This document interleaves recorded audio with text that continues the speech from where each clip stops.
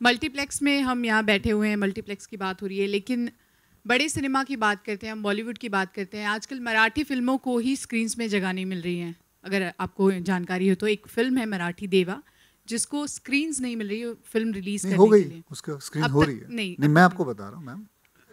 आप मुझसे पूछिए। जी। मैं जानता हूँ। मैंने उस फ़िल्म के बारे में बात भी की थी उसके बाद बारे में ट्वीट भी किया था क्योंकि वो फ़िल्म जो बना रहे हैं एंड इट इज़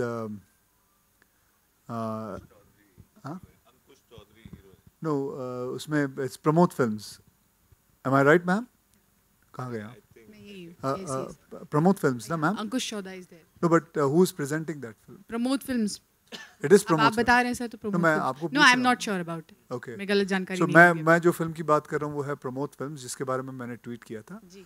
तो I think that whole thing has been solved and it is happening ma'am लेकिन हम हमेशा देखते हैं अक्षय की रीजनल फिल्म्स की बात आती है तो हमेशा दोहरा रवैया होता है। बड़ी फ़िल्में आती हैं बॉलीवुड की फ़िल्में आती हैं तब सपोर्ट एक अलग होता है। मराठी फ़िल्में जैसे ही आती हैं। इस तरह से पूरा स्क्रीन जितनी भी स्क्रीन्स हैं एक फ़िल्म को देना आप सही मानते हैं?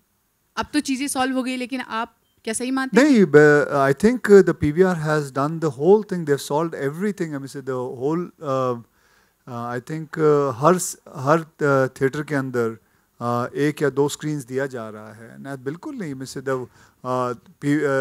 according to me to be honestly speaking the kind of content what Marathi cinema has is much better than Hindi cinema because मैंने उनके उनकी फ़िल्में देखी हैं uh, दो फ़िल्मों का मैंने रीमेक भी किया हुआ है। I myself have made Marathi cinema So I, I don't find that uh, thoda yes, I also heard some kind of uh, uh, problem was there, but that, that has been solved by, by them.